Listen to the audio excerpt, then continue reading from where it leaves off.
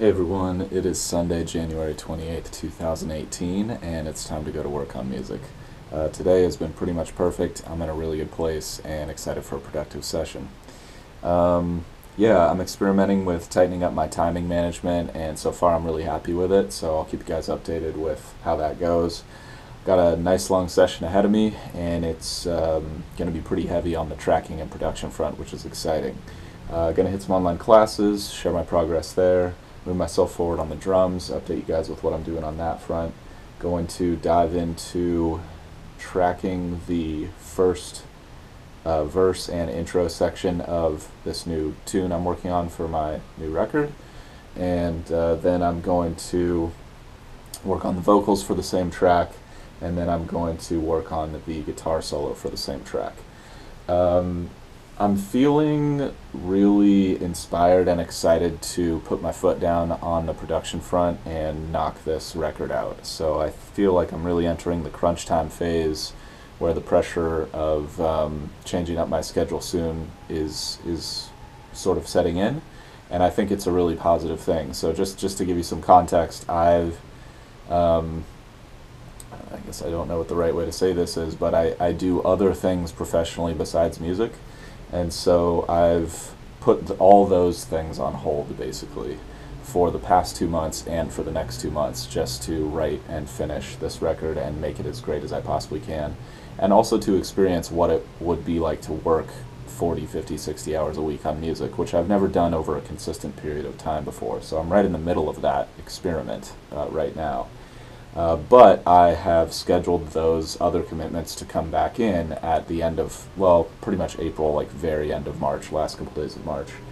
So I'm excited for those. I'm excited for that next move, and I'm excited for a new balance. And at the same time, I really want to capitalize on the time that I've set aside for music, if that makes sense. So, um, just to be clear, I'm not going to stop doing music at that time. I'll just go back down to doing music like 20, 30 hours a week, something like that, which is pretty much what I've been doing like the past few years, three, four years.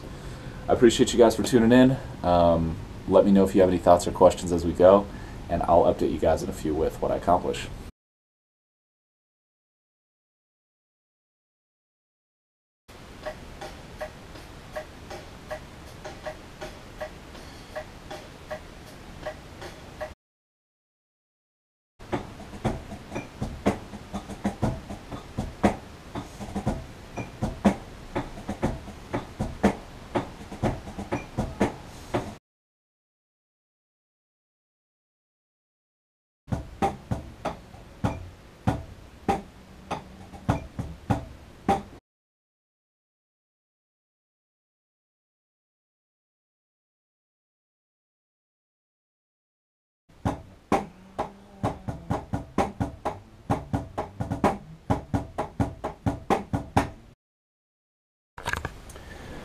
Right, excellent first half of the day, essentially perfect, exactly where I want to be headed um, going forward, and just kept things really crisp on the time management front, which is just so helpful for me and really helps me just get in the groove and stay in the groove and just remain focused in the zone for an extended period of time. Sw- switching between things really helpful for me for that. So I um, worked on yesterday's video. I uh, hit some online classes and just was thinking a little more deeply about whether I want to go with one network, social network, to start my journey, or if I want to try to start with a few different social channels.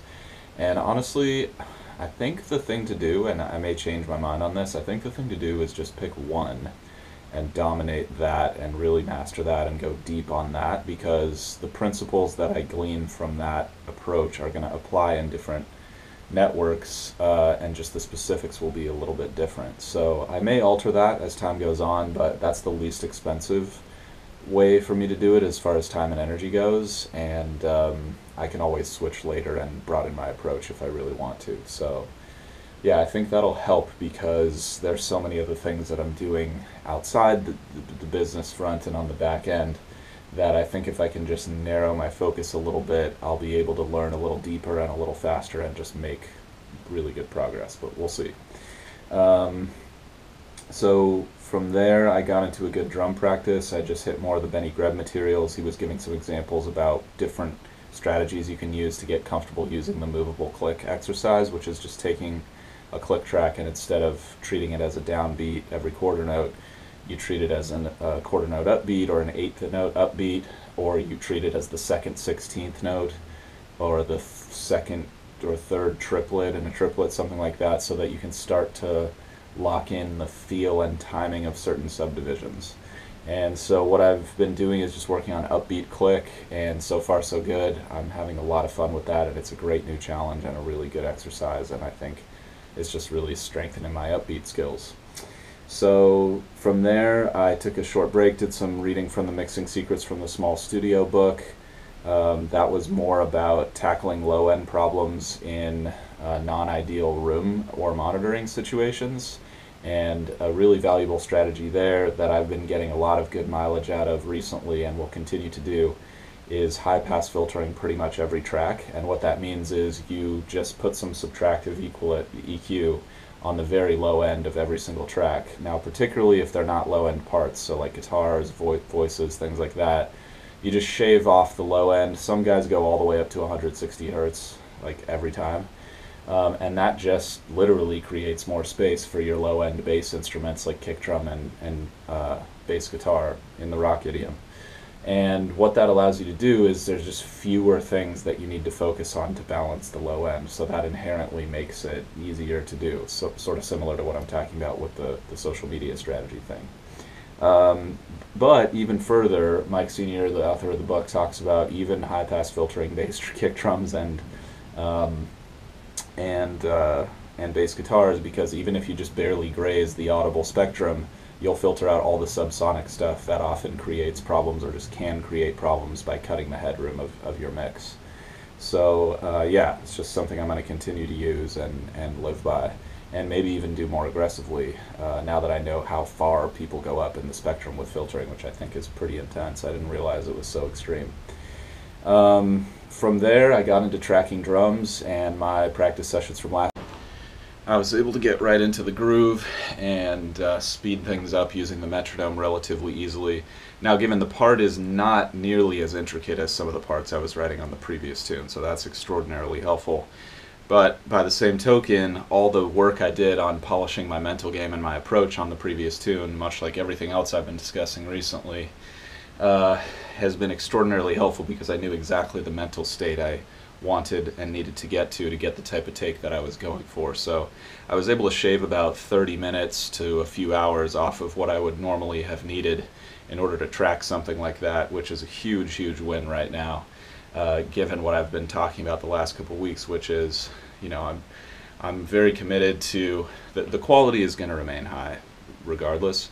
But inside of that commitment, being as efficient as possible is extremely helpful because that means I have more time to learn, polish my mental game, I have more time to rest and integrate, which is extremely helpful when doing a lot of intense physical stuff.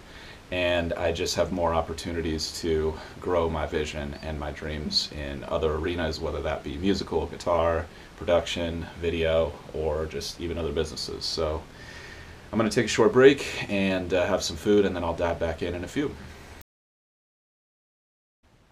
but I'm searching for the answers to evermore.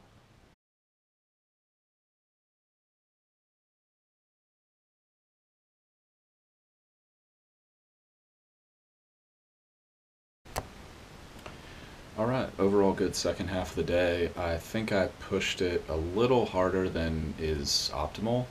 And what I did is in the second half of the session, I just jumped right into finishing yesterday's video, which was good. And then I dove straight into the vocal front. And I was feeling tired from the drum tracking session earlier, where I put like a lot into that.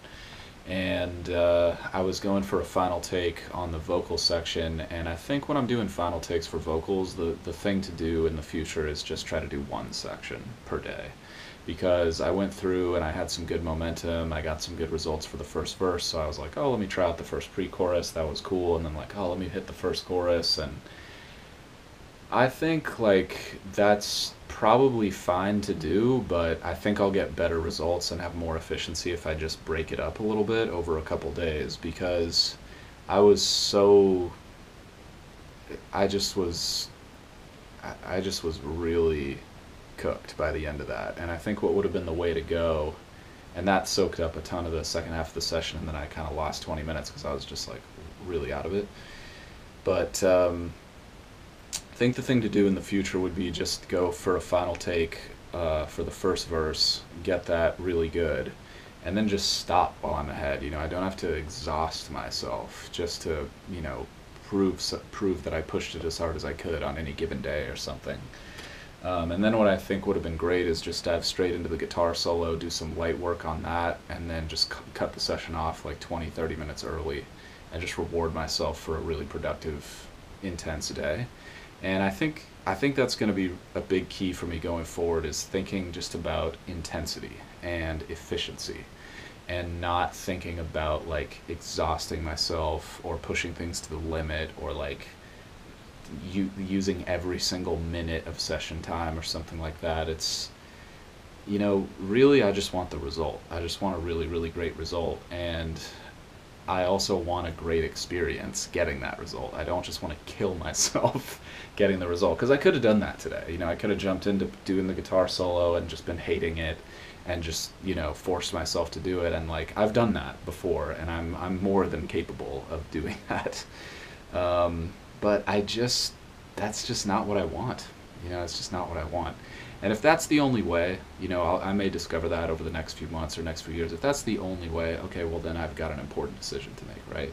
But I just don't believe yet that that's the only way for me to do it. I think I can keep it balanced. I think there's a lot of other things I can work on in conjunction with tracking. And I kind of lost sight of that over the past couple days because I think I shifted the balance too far away from tracking and I was a little too focused on like social media marketing and business tactics and things like that. And I'm just searching for the right balance this year. I'm recalibrating things a little bit versus last year, and I'm just experiencing, you know, some growing pains and some slips based on that. But it was a good mistake today. I've never made that mistake before, um, over tracking vocals. Um, I've I've maybe made similar mistakes, but I think just coming into today, I had a lot of excitement and inspiration and energy and I wanted to really just like make some really good progress.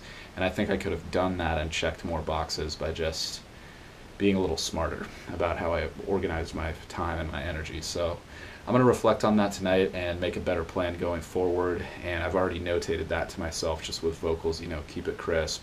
And I think I'm also going to make some special concessions where I'm doing a heavy tracking day at the beginning of the session just to make sure I don't have anything too crazy lined up for the end of the day.